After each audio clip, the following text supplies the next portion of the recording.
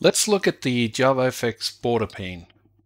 So border pane is uh, different from the others because it's it's more for creating something like a main layout. So what we can do with the border pane is we have something called top and center, right, left, and bottom. And we can define these as different containers for anything else, other containers, any node that we have in uh, JavaFX, we can put them in there.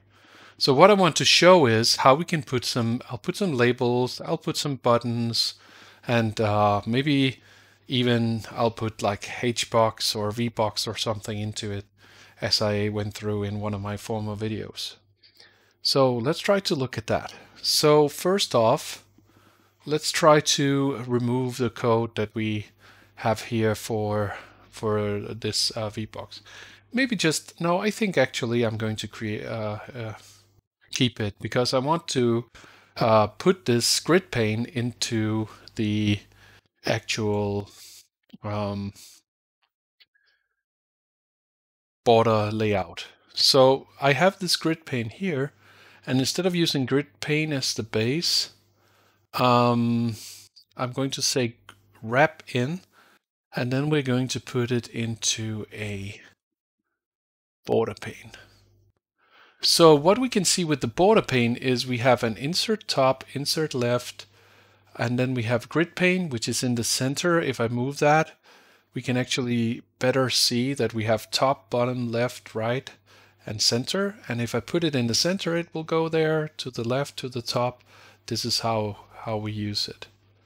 So I'll put it in the center and the center will automatically fill out the entire screen if there's nothing inside of the top pane. So let's put something else. So let's say that I, I really want something inside of the top pane, like I want something like some buttons for a menu or something like that. So I want to insert something like that. So I'm going to use something that can lay it out uh, in a vertical, uh, sorry, horizontal way. So I'll go for the H box and I'll put that into the top and you can see now the H box will be at the top. So now I have the H box here and I have that here. And automatically, if we look at the border pane constraints, we can see we can set some alignment and margins and stuff like that. And that's the same here, alignment and margins and stuff like that.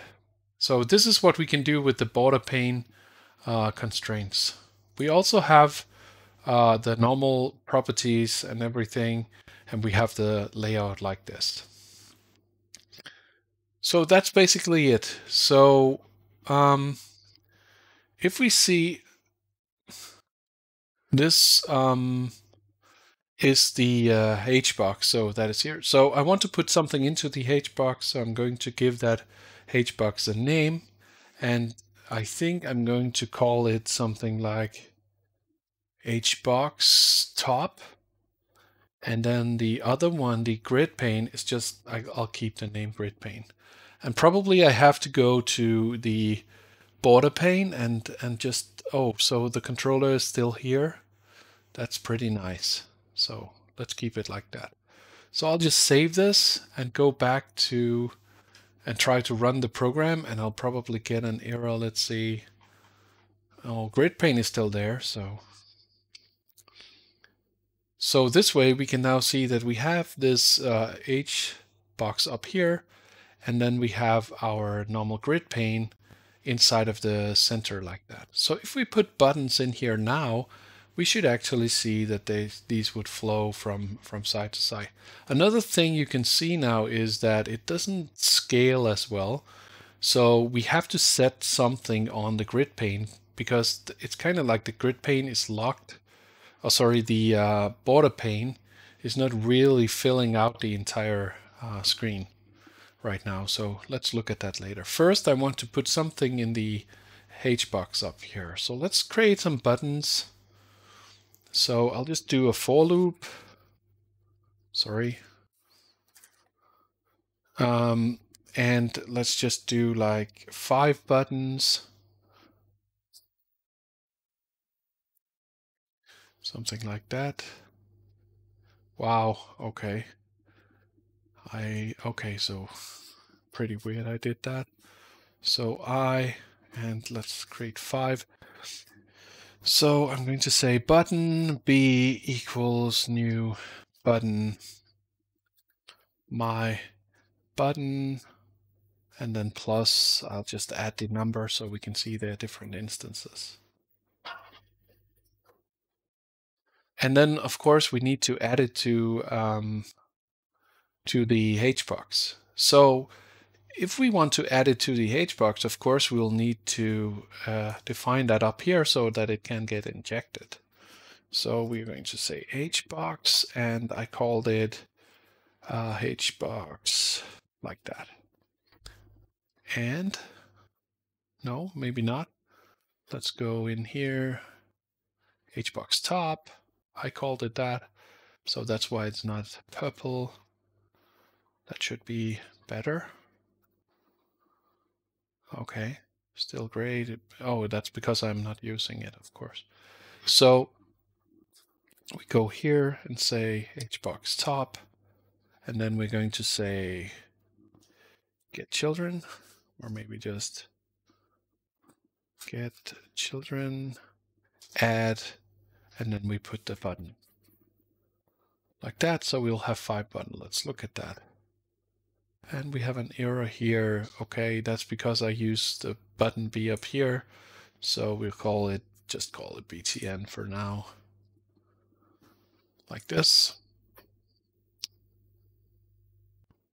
And we can now see that we have the buttons up here. And also we can set up other stuff if we go in here and go to um, open in scene builder. And we look at the HBox here and the layout. So it's aligned in center of the top part of the border pane. We can see the padding, we can see the spacing, preferred height and width, and everything looks uh, fine.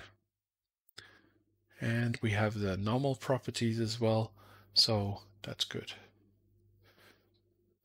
And let's try to click the border pane. So if you look at the properties here um, and the layout, it's it's a bit different here. So we can say uh, like like usual, the preferred width. Uh, it says to use the computed size right now. So because I'm I haven't set any size for the uh, the entire program, I, I can set that to something like um,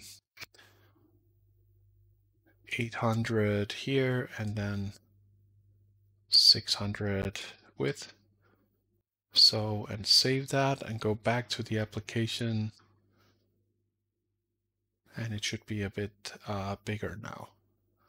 And we can see that it looks like the top part is following, but this one is not. So if we go back, the sensor should be following as well. Then we can see now that if we look in here, uh, we can see that it doesn't fill out. Of course, we could make it a bit bigger, but it still wouldn't help. Uh, let's just show that here. Grid lines visible and then preview. Still wouldn't really help because it's still a fixed size. So what we can do is we can say that we don't have any special layout properties for the border pane other than it should be in the center and some mar margin stuff.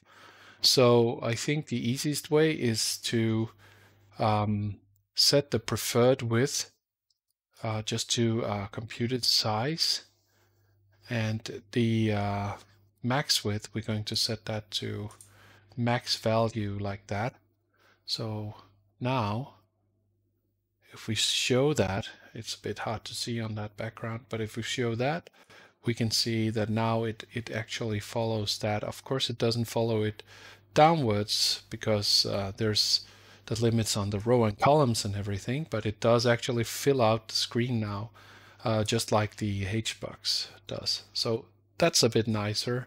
And we'll just keep the lines because it doesn't look very good. But so if we do this in our program now, we have should have it following.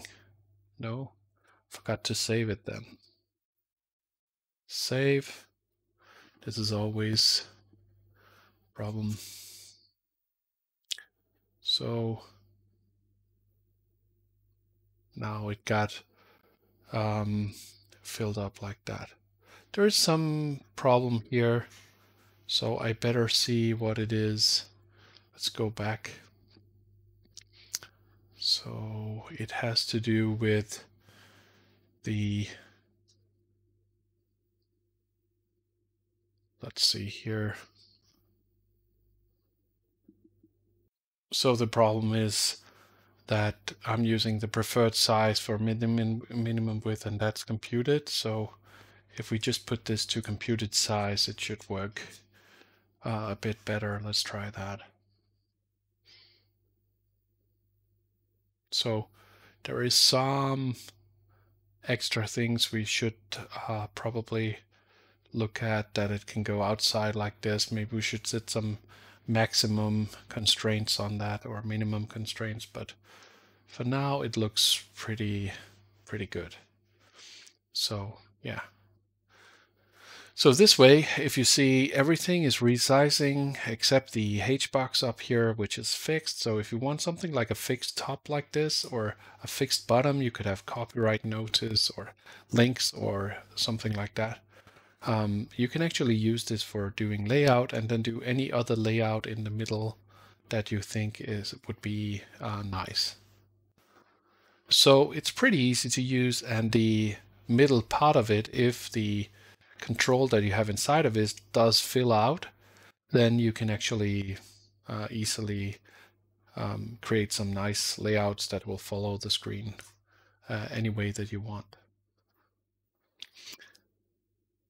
So that's it for the um, border pane, pretty easy to use, and I would definitely recommend it in situations for menus and stuff like that. So I think this is kind of like a main layout thing, not something that you probably would use in any other situation than that. And it would maybe be nice to make that the, the main pane of your program um, so that you can easily add a top part and a button part, a left and right part. So in the next video, I'll be talking a bit about um, the last two, the, oh, no, sorry, the stack pane and this is something that I seldomly used and I'm going to discuss how this can be used with the C part here. I'll try to explain that.